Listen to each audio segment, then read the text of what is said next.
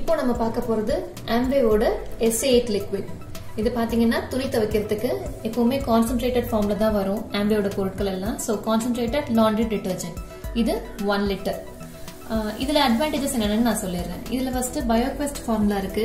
இது என்ன அர்த்தம்னா பயோடிகிரேடபிள் நம்ம எந்த ப்ராடக்ட்டுமே நம்ம யூஸ் பண்ணாலும் நமக்கோ இல்ல துணிக்கோ இல்ல என்வாயன்மெண்ட்டுக்கோ எந்த பாதிப்பும் ஏற்படுத்தாது.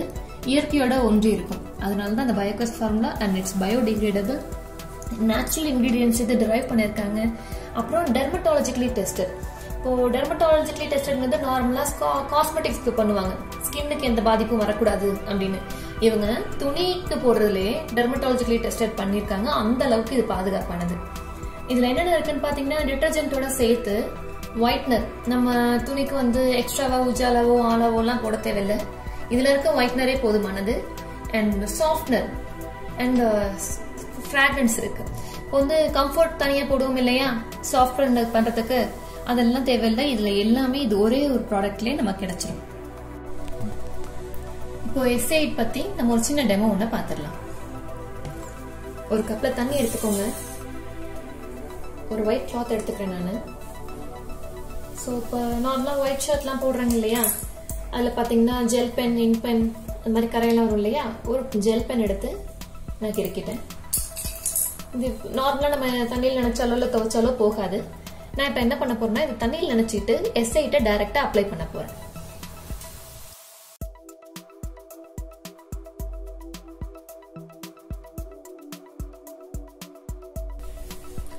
கரை சுத்தமா போயிடுச்சு. இது ரொம்ப நாள் படிஞ்ச கரை. நாங்கள் அயன் பண்ணிட்டோம்னா ஒரே தடவை எல்லாம் போகாது ரிப்பிட்டேட்டிவ் வாஷில் தான் போகும். பட் ஃப்ரெஷ் uh, கரை இன்னைக்கு படிஞ்சது இதுல இருந்து ரத்த கரை இருக்கு கையில கட் பண்ணி ஒரு சொட்டு விழுந்துருச்சு.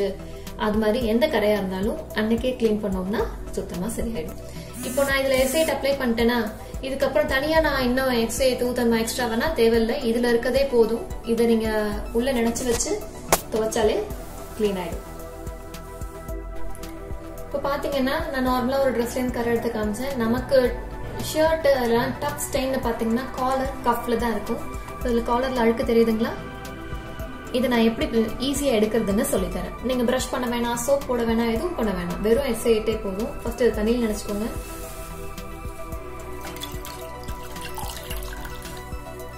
நல்லா புழிஞ்சிட்டு எஸ்ஐட் எடுத்துக்கோங்க. அதை தொட்டு இந்த கோடுல டைரக்டா அப்ளை பண்ணுங்க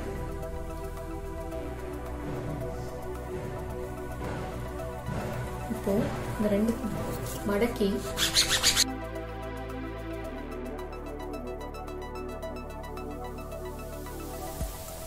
கோல்ட் போயிடுச்சா?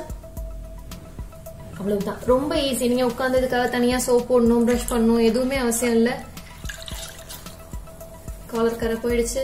நீங்க ஒவ்வொரு தடவை ஒரு லோடு ட்ரெஸ் போடும் போது இந்த மாதிரி காலர் கரை அதுக்கு தனியா ட்ரீட் பண்ணிட்டு அலசாதீங்க.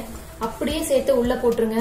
இதுல இருக்க எஸ்ஐட்டு அந்த லோடு வந்து நம்ம எடுத்துருக்கோம் இல்லையா? ஒரு ten ML or fifteen ML load பொறுத்து எடுப்போம். அதுல எவ்வளவு மிச்சம் இருக்கோ அதை ஊத்திட்டு இருக்க துணியை உள்ள போட்டு துவச்சிங்கன்னா அதுவே போதுமானதா இருக்கும். சூப்பரா கிளீன் ஆயிடும். இப்போ நம்ம எவ்வளோ எஃபெக்டிவா அது கிளீன் பண்ணதுன்னு பார்த்துட்டோமா? மற்ற ஒரு பாப்புலர் எக்ஸ்பிராண்டுக்கும் இதுக்கும் என்ன வேரியேஷன் நான் உங்களுக்கு காட்டுறேன். இன்னும் ரெண்டு கிளாஸ் ஜார் எடுத்திருக்கேன். ரெண்டுத்துலையும் தண்ணி ஊற்றிப்போம்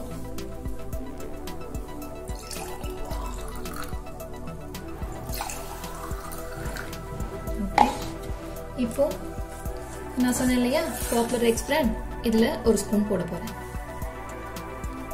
இதில் பார்த்தீங்கன்னா கலர்ஸ் இருக்கு இல்லையா இது பேர் ஃபில்லர்ஸ்னு சொல்லுவாங்க.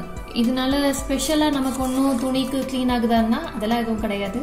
இது எதுக்கு ஆட் பண்ணுவாங்கன்னா வெயிட்டுக்காக ஆட் பண்ணுவாங்க வெயிட் இன்க்ரீஸ் பண்ணுறதுக்கு இது என்ன பிரச்சனை தரும்னா ட்ரெஸ்ஸில் போய் இருக்க அந்த ஃபைபரில் சின்ன சின்ன இடத்துல மாட்டிட்டு வேர்வையோட ரியாக்ட் ஆகி ஸ்கின்னுக்கு ப்ராப்ளம் வரும். இன்னொன்று பார்த்தீங்கன்னா அந்த ட்ரெஸ்ல பூச்சி கடிச்சிச்சுன்னு சொல்லுவாங்க இல்லையா? அது இதுதான். ஓட்ட விழத்துக்கும் இதுதான் வழிவகுக்கும். ஸோ எக்ஸ்பிரான்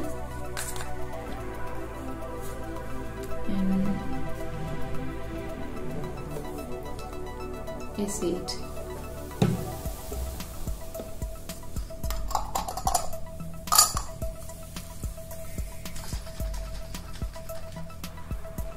இது எஸ்ஏ உங்களுக்கு எந்த ஃபில்லர்ஸும் கிடையாது இதில்.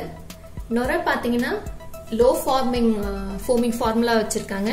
ஏன்னா நிறைய தண்ணி யூஸ் பண்ணி நம்ம நிறைய தடவை அலசி அந்த தண்ணி வேஸ்ட் ஆகக்கூடாது. நமக்கு மேன் பவர் மிச்சமாகணும் அப்படிங்கிறதுக்காக லோ ஃபோம் வர மாதிரி அவங்க ஃபார்முலேட் பண்ணியிருக்காங்க இது எக்ஸ் பிராண்ட்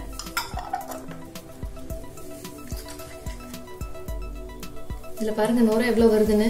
ஸோ ஒரு அலசலாம் உங்களுக்கு போகாது. மினிமம் ஒரு மூணு தடவை நாலு தடவை அலசுற மாதிரி இருக்கும். கீழே பார்த்தீங்கன்னா இதுதான் ஃபில்லர்ஸ் எப்படி படிஞ்சிருக்கு பாருங்க. இது கரையவே கரையாது. இது என்ன ஆகும்னா உங்களுக்கு நான் சொன்ன மாதிரி ட்ரெஸ்ல போய் மாட்டிட்டு ட்ரெஸ் வீணா போகும். இன்னொன்று உங்க ஸ்கின்ல அலர்ஜிஸ் ஏற்படுறதுக்கு நிறைய வாய்ப்பு இருக்கு. இது வந்து நிறைய கான்சென்ட்ரேட்டடா இருக்கு. உங்களுக்கு ஸ்கின்னுக்கு சேஃபா நிறைய டவுட் வரும் இல்லையா? இது நம்ம சாதாரண சமையல் மஞ்சள் பொடி. பாலில் போட்டால் என்ன கலர் இருக்கும்? தண்ணியில் போட்டால் என்ன கலரில் இருக்கும் மஞ்சள் பொடி? அதே மஞ்சள் கலரில் இருக்கும் இல்லையா? இதே ஆரத்தி எடுப்பாங்க தெரியுமா? அப்போ சுண்ணாம்புல கரைப்பாங்க மஞ்சள் பொடியை. என்ன கலரில் மாறும் அப்படின்னு பார்த்தீங்கன்னா ரெட் கலரில் மாறும். ஏன்னா அதில் இருக்க கெமிக்கல் ரியாக்ஷன் அப்படி. இங்கே பாருங்க. இது எஸ்ஏ இது எக்ஸ்பிரண்ட்